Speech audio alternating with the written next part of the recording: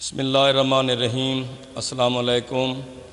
Dear students آج میں مطالعہ پاکستان کا باب نمبر دو شروع کرنے جا رہے ہیں، تحریک پاکستان اور قیام پاکستان۔ اس کو یہی اس کلاس کا سب سے ہی اہم باب ہے اور اس سے لانگ کویشچن آتا ہے۔ آٹھ نمبر کا اور مختصر سوالات اور معروضی کی اکثریت، کیونکہ مین جان اس مطالعہ پاکستان کے سبجیکٹ کی یہی باب ہے، جس میں ہمیں بتایا جائے گا کہ یہ پیارا وطن پاکستان ہم نے کن حالات میں حاصل کیا۔ تو آئیں اس کو دیکھتے ہیں۔ بر صغیر میں مسلمانوں کی آمد کا سلسلہ باقاعدہ سات سو بارہ سے شروع ہوتا ہے، جب محمد بن قاسم نے راجہ دیر کو شکست دے کر سندھ کو فتح کیا۔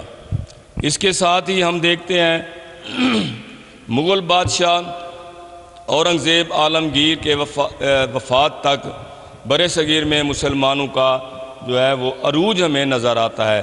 لیکن ان کی وفات کے بعد زوال کے آثار ہمیں نظر آنا شروع ہو گئے۔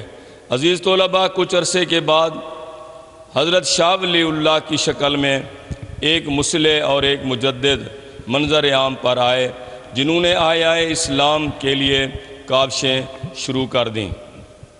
اس کے بعد ہم دیکھتے ہیں کہ بر صغیر میں ایک تحریک اٹھتی ہے آیا اسلام اور مسلمانوں کے احیاء کے لیے۔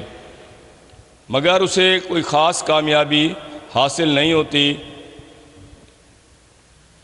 انگریز جو سولہ سو میں ایسٹ انڈیا کمپنی کی شکل میں آ چکے تھے، ان کی پہلی لڑائی اٹھارہ سو ستاون میں بنگال کے نواب سراج الدولہ سے ہوئی ہے۔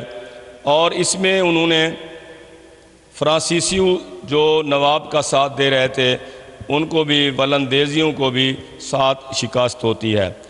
یہاں ان کی حوصلہ افزائی ہوئی، پھر انہوں نے ٹیپو سلطان کو شکست دی سترہ سو ننانوے میں۔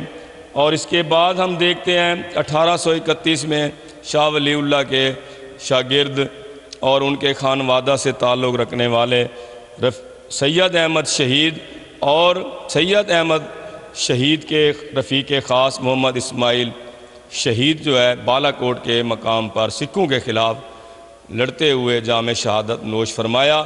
ان کا منصوبہ یہی تھا کہ مسلمانوں کی اکثریت والے علاقے ہیں تو پہلے ہم اس علاقے کو فتح کریں گے، پھر پنجاب کو فتح کر کے ہی ہم دہلی کے طرف جائیں گے۔ لیکن یہاں بھی وہی ہوا جو نواب کے ساتھ، نواب سراج الدولہ کے ساتھ ہوا، جو ٹیپو سلطان کے ساتھ ہوا، وہی سید احمد شہید اور سید محمد اسماعیل شہید کے ساتھ ہوا۔ اس کے ساتھ ہم بنگال میں دیکھتے ہیں کہ وہاں بھی فریضی تحریک جس کا مقصد تھا فرائض کی طرف متوجہ کرنا، نماز کی طرف، روزے کی طرف، اور دیگر جو اسلام کے فرائض ہیں، اس کی طرف متوجہ کرنے کا سلسلہ جو ہے وہ شروع ہوا۔ اور ہم آخری کوشش جو آیا ہے اسلام کی بر صغیر میں ہوئی ہے، وہ سب نے مل کر کی انگریزوں کے خلاف اٹھارہ سو ستاون میں، مگر بدقسمتی کے مسلمانوں کو کامیابی نصیب نہیں ہوئی۔ یہ آج ہم نے صرف پس منظر آپ کو بتایا ہے کہ بر صغیر میں تحریک پاکستان کا جو پس منظر ہے وہ کیا ہے۔ اس کے آگے پھر ہم سر سید احمد خان اور دیگر واقعات آپ کے سامنے پیش کریں گے۔ ریویو اس کا یوں ہے کہ سات سو بارہ میں محمد بن قاسم آتے ہیں، اٹھارہ سو چھبیس میں مغل سلطنت کی بنیاد پڑتی ہے سولہ سو میں East India company Shah Jahan اور جہانگیر کی اجازت سے وہ آئے۔ سترہ سو سات میں اورنگزیب عالمگیر کی وفات ہے۔ اس کے بعد زوال شروع ہوا۔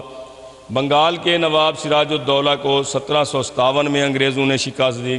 ٹیپو سلطان کو سترہ سو ننانوے میں اور سید احمد شہید اور ان کے رفیق خاص محمد اسماعیل کو سکھوں نے شکست دی۔ اٹھارہ سو اکتیس میں بالا کوٹ کے مقام پر۔